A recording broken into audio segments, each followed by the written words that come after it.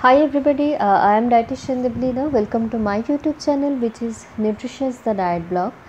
আজকে যে বিষয়টা নিয়ে আলোচনা করব সেটা হচ্ছে গ্যাসের সমস্যা বা গ্যাসের সমস্যা হলে মানুষের কী কী ধরনের খাবার খাওয়া উচিত বা কী পদ্ধতিতে খাবার খেলে এই ধরনের সমস্যা থেকে মুক্তি পাওয়া যায় সেই বিষয়ে আজকে এই আলোচনা বিকজ যদি আজকে এই মুহূর্তে আপনি তাকান তাহলে দেখতে পাবেন শতকরা একশো শতাংশ মানুষই কিন্তু এই গ্যাসের সমস্যার দ্বারা ভুক্তভোগী তো চলুন সেটাই জানার দরকার যে এই ধরনের সমস্যা থেকে রিলিফ পেতে গেলে কি কি পদ্ধতি আমাদের ফলো করা উচিত।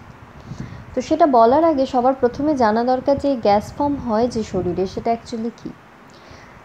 গ্যাস আমাদের শরীরে যেটা থাকে সেটা কিন্তু আমাদের ডাইজেস্টিভ সিস্টেমের একটা নর্মাল পার্ট এই গ্যাস মূলত আমাদের শরীরে দুইভাবে হয়, এক কথা বলি যখন আমরা বা ধরুন খাবার খাই, তখন আমরা বাতাস থেকে কিছুটা হাওয়া নিজেদের শরীরে ঢুকিয়ে ফেলি মুখের মাধ্যমে। আরেকটা যেটা হয় যে, যখন আমরা খাবার খাচ্ছি, তখন যদি আমাদের ডাইজেস্টিভ সিস্টেম ঠিকমতো কাজ না করে, তখন যে খাবারগুলো পুরোপুরি ডাইজেস্ট হচ্ছে না, সেগুলো তখন আমাদের শরীরের লার্জ ইন্টেস্টাইনে গিয়ে সেখানে থাকা কিছু ব্যাকটেরিয়ার সাথে কন্টামিনেট হয়। কন্টামিনেটেড হওয়ার ফলে কিন্তু গ্যাস ফর্ম করতে পারে। তো মূলত এই দুইভাবে আমাদের শরীরে গ্যাস হয়। আর এই গ্যাস আমরা আবার মূলত দুইভাবে বার করে দিই। এক হচ্ছে ঠেকুর তুলে মুখের মাধ্যমে, আরেকটা হচ্ছে শরীরের নিম্নাংশ দিয়ে।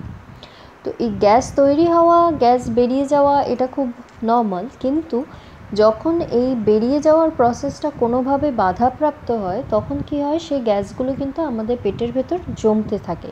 আর তার ফলস্বরূপই আমাদের এই পেট ফুলে যাওয়া, পেট ফেপে ওঠা, পেট শক্ত হয়ে যাওয়া অ্যাবডোমিনাল পেন হওয়া বুকের ওপর চাপ সৃষ্টি করা বা ধরুন গা বমি হওয়া, এই ধরনের সমস্যাগুলো তখন হতে থাকে। তো এরপরে যেটা জানা দরকার সেটা হচ্ছে কী কী কারণে এই গ্যাসের সমস্যায় মানুষ সাফার করে। এর স্পেসিফিক কিন্তু কোনো একটা কারণ নেই। একাধিক কারণের জন্যই গ্যাসের সমস্যা হতে পারে। যেমন ধরুন, বেশ কিছু সবজি, যেমন ফুলকপি, বাঁধাকপি ব্রকলি, মূলো, এই ধরনের সবজিগুলো থেকে অনেকের গ্যাসের সমস্যা হয়। অনেকের দেখা যায় যারা র ভেজিটেবলস খান, অনেকে থাকেন যারা র ভেজিটেবল খেতে, ভালোবাসেন বা খান, তাদের ক্ষেত্রেও অনেকের দেখতে পাওয়া যায় গ্যাসজনিত সমস্যা। কিছু ফুড অ্যালার্জি যদি কারোর থেকে থাকে বা ধরুন ল্যাকটোজ ইনটলারেন্স যাদের রয়েছে সেই সব মানুষদের কিন্তু গ্যাসের সমস্যা হয়ে থাকে। এছাড়া কিছু গ্যাস্ট্রো ইন্টেস্টিনাল ডিসঅর্ডার যেমন কনস্টিপেশনের সমস্যা যদি কারোর থাকে ইরিটেবল বাউল সিনড্রোম যদি কারোর থাকে, তো এই ধরনের সমস্যাগুলোর কারণে মানে কারণ হতে পারে এই গ্যাসের প্রবলেমে তো স্পেসিফিক কোনো একটা রিজন নেই, এটা কমপ্লিটলি ডিপেন্ড করে পার্সন টু পার্সন এবং তার শরীরের কন্ডিশনের ওপর। এরপরে যেটা জানার যে গ্যাসের সমস্যার কি কোনো স্পেসিফিক বয়স থাকে, তার অ্যান্সার হচ্ছে না। অনেকেই থাকেন যাদের ছোটোবেলা থেকে আপ টু বৃদ্ধ বয়স অবধি এই সমস্যা সে ক্যারি করছে। অনেকের একটা সার্টেন বয়সের পর হতে পারে। অনেকের দেখা যায়, যদি শারীরিক কোনো রকম সমস্যা হয়েছে বা কোনো অপারেশন হয়েছে, তারপর থেকে সেই গ্যাসের সমস্যায় ভুক্তভোগী। তো এর স্পেসিফিক কোনো এজ নেই। কিন্তু হ্যাঁ যদি আপনার গ্যাসের সমস্যা থাকে বা যখন আপনি বুঝছেন আপনার এই গ্যাসের সমস্যা সামহাও কোনো কারণে স্টার্ট হচ্ছে, তখন থেকে কিন্তু অবশ্যই আপনাকে প্রিকশন নেওয়া দরকার। খাবারের ক্ষেত্রে কিছু সচেতনতা অ্যাডাপ্ট করা দরকার। কারণ এই গ্যাসের সমস্যাকে নেগলেক্ট করাটা কিন্তু একদমই উচিত নয়। তার কারণ, দীর্ঘদিন গ্যাসের সমস্যাকে যদি আপনি নেগলেক্ট করেন, সেটা কিন্তু ভবিষ্যতে কোনো বড় সমস্যার সম্মুখীন আপনাকে করতেই পারে। তো সেই কারণে বেটার হচ্ছে শুরু থেকেই সচেতন হওয়া। সো এরপরে যেটা বলব, সেটা হচ্ছে তাহলে কী কী ধরনের প্রিকশনস আমাদের নেওয়া উচিত বা কী কী খাবার খাওয়া উচিত? প্রথমে যেটা আমি আগেই বললাম যে এক হচ্ছে নিজের খাবারের ক্ষেত্রে সচেতন হওয়া দ্যাট মিন্স খাদ্যাভ্যাসকে পরিবর্তন করে। যদি আপনি গ্যাসের সমস্যায় ভুগ মানে ভুগছেন বা গ্যাসের সমস্যা আপনার আছে, তাহলে সবসময় আপনার উচিত যতটা কম তেল মশলা জাতীয় খাবার খাওয়া যায় বা যতটা fast food junk food avoid করা যায় সেটা করার।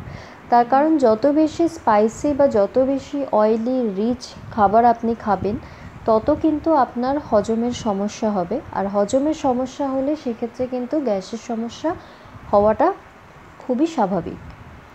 নেক্সট যারা খেতে খেতে প্রচুর কথা বলেন, তাদের উচিত খাবার সময় যতটা কম কথা বলা যায়, বিকজ যত বেশি কথা বলবেন, আপনি কিন্তু বাতাস থেকে হাওয়া আপনার শরীরে তত ঢুকবে। তো সেই কারণে খাওয়ার সময় চেষ্টা করবেন যতটা কম কথা বলা যায়।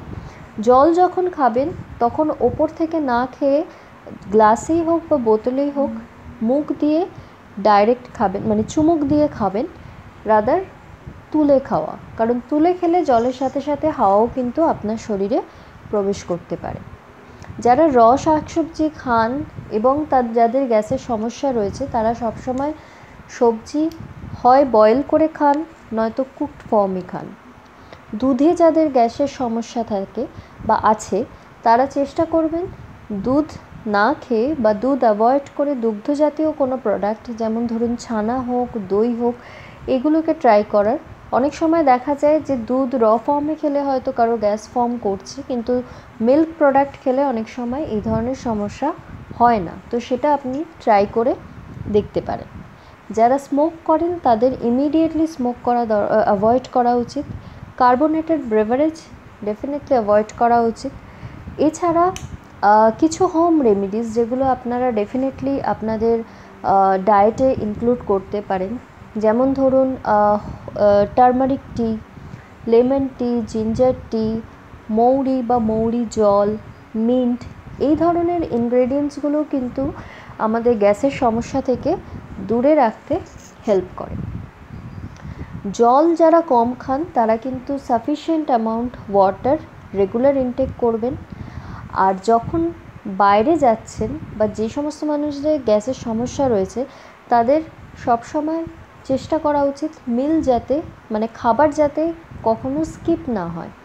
ধরুন আপনি কাজের জন্য বাইরে যাচ্ছেন, হয়তো আপনার পক্ষে সেই মুহূর্তে খাওয়া সম্ভব নয়। তো আপনি সাথে সবসময় ড্রাই ফুড ক্যারি করবেন। যখন আপনার খিদে পাবে বা যখন আপনি বুঝতে পারবেন আপনার গ্যাসের সমস্যা হতে পারে, যেটার ইন্ডিকেশন আপনার শরীর আপনাকেই দিয়ে দেবে, তখন কিন্তু সেই ড্রাই খাবারটা যদি আপনি খেয়ে নেন, তো আপনি টেম্পোরারিলি রিলিফ পাবেন। আর যখন কারও কখনো গ্যাস হবে, সেই সময় লিকুইড খাবারটা অ্যাভয়েড করবেন। চেষ্টা করবেন যতটা ড্রাই খাবার খাওয়া যায়। কারণ গ্যাস ফর্ম হলে তখন অলরেডি পেটটা একটা অস্বস্তি থাকে। তো তখন যদি আরও বেশি লিকুইড ইনটেক করেন, সেটা কিন্তু অস্বস্তি বাড়াতে পারে।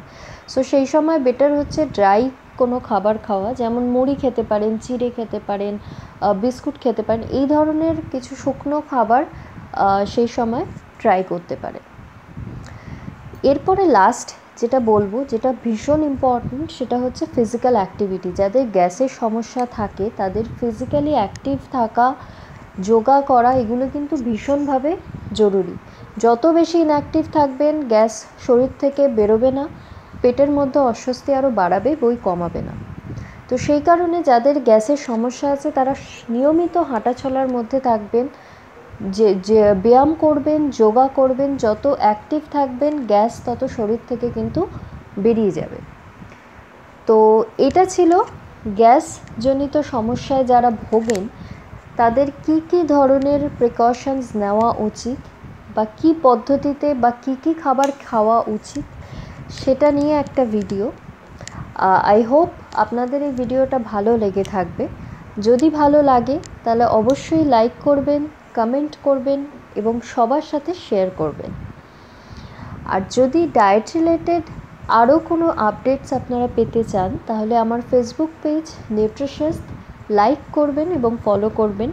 আর যদি আপনাদের কোনো ডায়েট রিলেটেড কোয়ারিজ থাকে, সেটা আপনারা এই কমেন্ট সেকশানে মেনশন করতে পারেন বা আমার ফেসবুক পেজ নিউট্রিশিয়াসতে ডিরেক্ট মেসেজ করতে পারেন। আমি ডেফিনেটলি তার আনসার দেব। আর যদি আপনারা আমার সাথে কোনো রকম ডায়েট কনসালটেশন করতে চান, সেক্ষেত্রে আমার website W dot nutritious dot com visit করুন। সেখানে সার্ভিস সেকশানে গিয়ে আপনাদের পছন্দ মতন সার্ভিস চুজ করে অ্যাপয়েন্টমেন্ট নিতে পারেন আমার সাথে সরাসরি ডায়েট কনসালটেশনের জন্য। আর এই চ্যানেলটা যদি আপনাদের ভালো লেগে থাকে, তাহলে কিন্তু অবশ্যই সাবস্ক্রাইব করবেন। থ্যাংক ইউ আপনাদের কোঅপারেশনের জন্য। ভালো থাকুন সুস্থ থাকুন বাই।